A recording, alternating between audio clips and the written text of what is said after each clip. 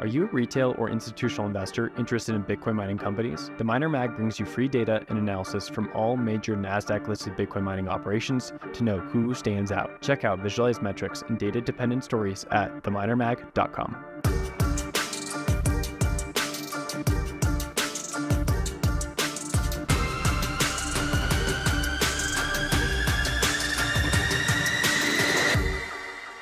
Welcome back to the Mining Pod. Matt is back with us after his sojourns throughout Europe, visiting Prague, Oslo, London, and elsewhere. Welcome back to the show, Matt. Thanks, Will. We love to have you here. Okay, today's show, not gonna lie, folks, not a lot of mining news this week, but there is a lot of AI chatter, which we will discuss. And then we'll get to the Bored Apes at the very end for a shitcoin cry corner because the story was a little funny. Again, not a lot of mining news. Why? Because most of these mining news bits are kind of like related to monthly updates, and we typically cover that with Anthony Power. So we'll have him on probably in a week or so, maybe two weeks, to talk about all the updates from all our miners for June. But for today, we're actually just going to power through a few headlines and then go back and talk about them. So, Matt, put your uh, seatbelt on, and we'll just breeze through all these things, and then we'll and then we'll discuss them because again, like Bitcoin is at like 31k. There's ETF news. There's Larry Fink talking about Bitcoin, but I'm assuming most of our listeners have found that information elsewhere. We really just try to talk about mining on this show. Same story. It's the same story. I don't I don't want to talk about the ETF anymore unless it actually happens. Okay, so let us start with a CoinDesk story. First off, Applied Digital stock surges 12% after announcing its third AI deal. deal. This was posted on June 30th, so about a week ago now, but it does bleed into all the other stories. Applied Digital is most well known in the space for hosting for Marathon Digital. They have a bunch of sites, mostly North Dakota, but I think also in Texas, as they are a Texas based company. And they are making a deal with Hewlett Packard Enterprise, HPE, to build and host NVIDIA H100 graphics processing units, GPUs, essentially, for high performance computing.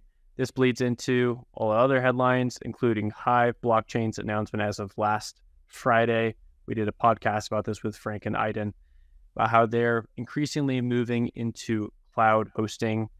Uh, they see this as like another pillar of revenue for them that enables them to be more flexible with their Bitcoin mining so we're definitely on like a press tour about that.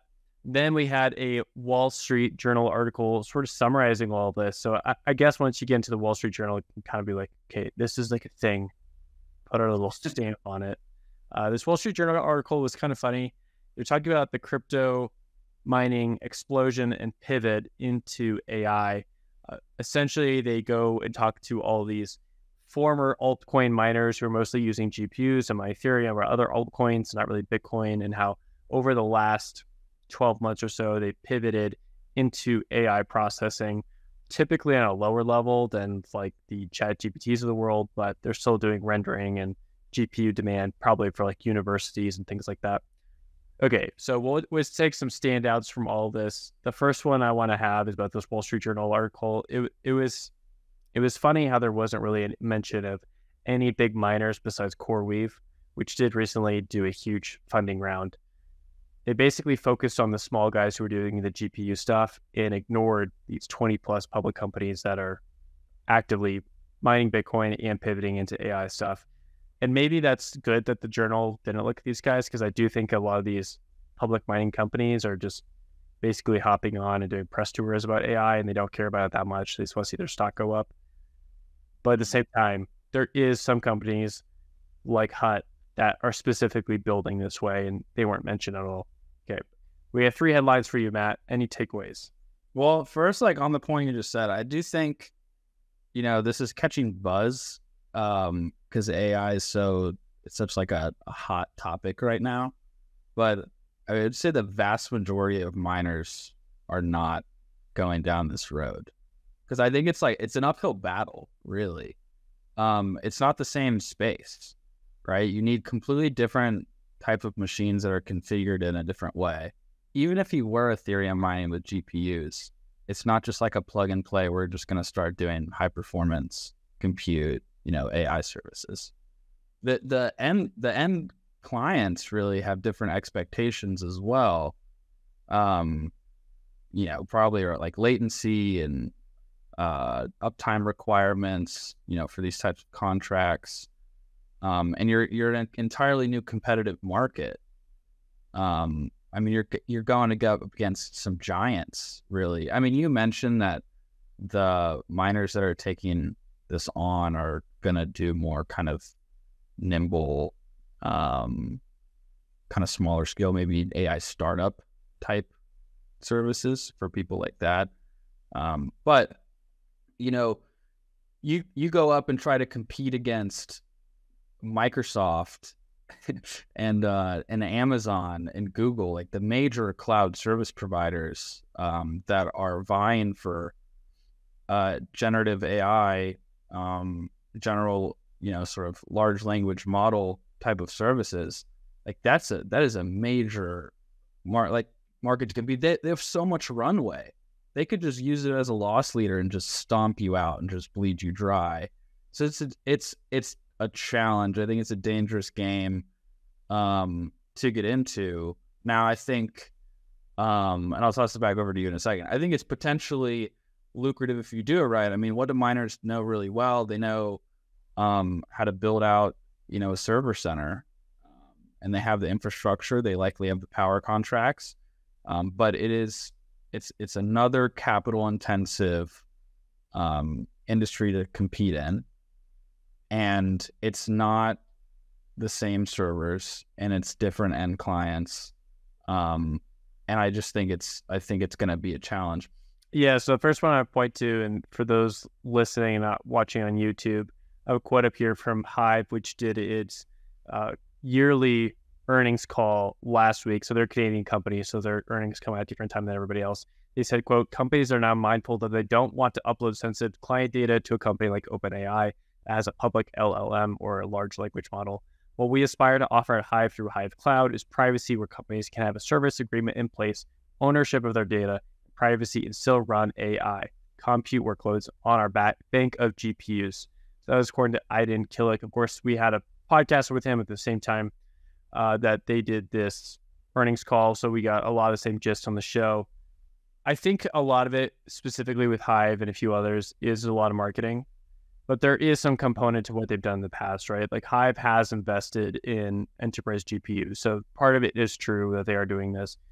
That being said, very different models, very different customers. And to be able to pivot into this right when the hype cycle is going is like classic crypto mining behavior, right? Where, especially for these public companies, that they just need liquidity in their stocks. They've been diluting everybody. So, like, why not jump onto this bandwagon and help yourself out a little bit? And that leads me to the other point. Just looking at mining stock portfolios, I'll pull up. Mining stocks have been doing really, really well. Uh, I thought this was going to be a rough year because of dilution, but turns out I was wrong. Like a lot of these stocks have just been doing so well. They're still trading just like Bitcoin. They're going up with Bitcoin, and so many of these stocks are up a ton. Uh, the craziest one is Core Scientific, which is up over a thousand percent, and then some others are up. You know, this is up twenty seven percent of the day. It's Greenidge, and over the 52 week range, like it's still really bad. So like again, Greenidge, 52 week range, buck 55 is our lowest when their top was 489 uh, or $48. You go down the list and most of these are still down like double digit percentages high like 70, 80%. But they are recovering. And for people who purchased these bags like earlier than you know, the last 12 months, they're probably in a bad position. But more recently, they're in a better position. And that's often because the marketing for these companies has pivoted drastically. Last thought on it, I give it back to you, and then we'll go on to the last topic for the day. I think there's going to be some companies that do pivot into this more strongly, and they do find a good sync between these two things. It's just going to be about getting the right equipment and infrastructure in place. Uh, I think there's going to be a lot of demand for rendering and all that, and Bitcoin mining can be something that works along with it. But you're going to have to have a larger company that it has the ability to pivot in between multiple things and work under the same umbrella. Yeah, I mean, uh, to analogize mining a bit, like you know, right after the halving, when I'll just speak about the last cycle, but it's happened kind of cyclically a couple times. Well, there's kind of like a gold rush, and the price is really surpassing the speed at which infrastructure can be built to mine and it becomes really lucrative, uh, it seems like kind of entrepreneurs in this space are doing something similar with AI, where the infrastructure really hasn't caught up, but the demand for these types of services is really taken off. So if you have the infrastructure in place, it might make sense for you, like a short term gain. Also, from the point that you were bringing up, you you kind of catch like a, a, a media tailwind, so to speak, if you attach yourself to AI as a public listed company that could bring in investors of your stock.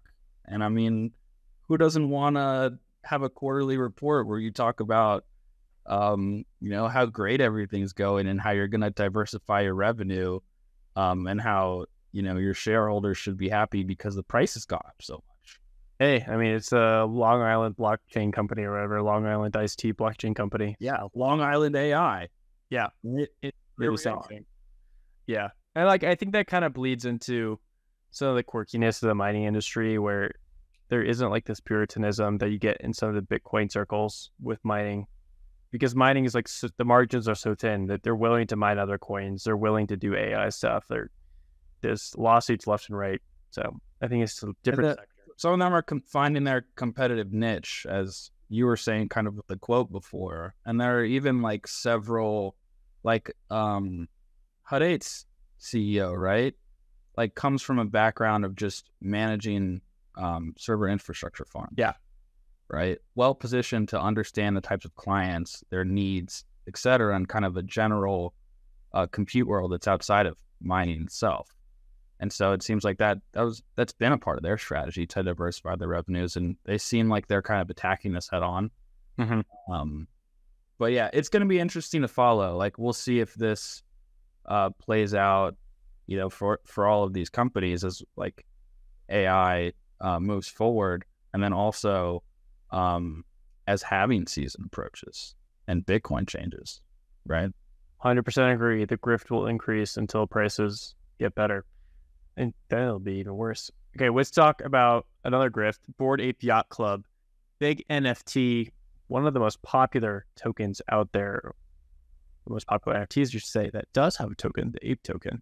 Out there in the wild, it's been around for about two or three years. There's been celebrities like Justin Bieber, Steph Curry, Tom Brady hosting apes. Actually, don't know if Tom Brady has an ape, but a lot of these people have had apes. Some people think that Yuga Labs, the company behind Bored Apes, basically a random marketing gift grift to uh, put these in people's hands and pump the price of the floor price of these NFTs. But as all these things do come to an end, party has been pretty rough. We've seen a collapse in the last few weeks of the floor price of these NFTs, going from a high of 153 ETH all the way down to a floor about 34 ETH recently. It's 20 month low.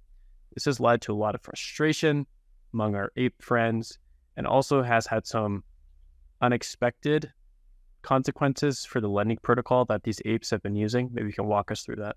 You know, in the NFT craze, right? And it like definitely became a craze. I mean, if if you've been in um, Bitcoin for a while, like you might have been shocked that your completely normie friend just came up to you in 2021 and was like, hey, I heard you're into Bitcoin. Will you tell me about these ape image coins?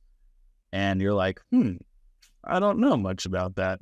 But, you know, like that definitely happened um, for me. And a part of this craze, right? Some developers were attracted. And so the NFT space really grew beyond just collectible art for a little while. Um, and off the back of that was kind of like this pseudo DeFi NFT world where you could like fractionalize your NFT and um, you know people could sort of trade their pieces of a singular collectible. Or you could take out a loan against your literal image your NFT uh, piece of art right? It's like putting up um, the Mona Lisa and taking out dollars as a loan whatever. But um, yeah not all that glitters is gold because as you mentioned recently the I guess the floor price, right, which is the the least amount that you could sort of bid and actually attain an NFT of a collection for Bored Ape Yacht Club, um, the one of the most prominent on Ethereum. The floor price went down, like you said, like around eighty percent And so if you did lend it out, you got liquidated of your of your ape. And so there has been some tears shed on Twitter. All right, yeah, it is really quite amusing for me to follow. I'm sorry for the people that lost money, but it is hilarious. I mean, the the NFT world is is like it's a sensation to follow. Um, it is some kind of phenomenon, and even if you're kind of a staunch Bitcoiner, it's just high quality entertainment. It is high quality entertainment. Like, and that's why I call it shitcoin cry corner because there's a lot of tears.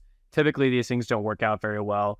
Uh, these bored apes themselves, ugly pictures purchased on Fiverr, and then put up in 10,000 picture collection. They sold for a ton of money. We had you know, celebrities buying these things for the millions of dollars. They were basically like the pinnacle of the 2021 scam market. And as these things do, they fall apart at some certain point. And so I think a lot of these ape holders that at one point they were worth about $500,000 are watching the money just dwindle, dwindle, dwindle. And it's down about 10x from there. You know, they could have made a lot of money, but they held on to it thinking that they were going to make a lot more. But that's how things work. It's a vibe. The vibes. Yeah, it's a vibe. So we'll see what happens with that. Uh, I, I think like the one thing I'd bring up before we close here is like, will there be something like this with inscriptions and ordinals next cycle? I'm a big believer in ordinals, but I think there will be some sort of like there'll be a lot of like scam NFT things on top of ordinals because it's permissionless. And how does that hurt or help Bitcoin? I'm not sure. Some of these NFTs did bring a lot of users to Ethereum, so they're beneficial that way. But then people also lose their shirts. Yeah, cuts both ways. Yeah, I mean it's a it's a tale of crypto history where if people can openly issue assets, right, it's a confidence game, and there will be some big, confident, promising founder that convinces a ton of people to invest in this thing that inevitably is a scam, and there's there's no actual future long term sustainable value to it and it crashes and burns and a bunch of people go with it. But you know what? The sliver of hope is that in that process, they learn about economics, right? Self custody, you know, maybe the unique properties of Bitcoin. That'd be pretty cool too. It happens. Seen it. Does happen. Does happen. Okay, we will close out there. We will see you again next week, Tuesday. We have an interview either with Cormint or Kareem Helmy. I'm forgetting which one we are going to publish, but those are both coming out in the near future. And then we'll see you again the week after. Again, if you like the show, give us a thumbs up subscription on YouTube or give us a like and comment on Spotify or wherever else you listen to the show. It really helps out other miners find this information. Thanks again for listening and enjoy the weekend. Cheers.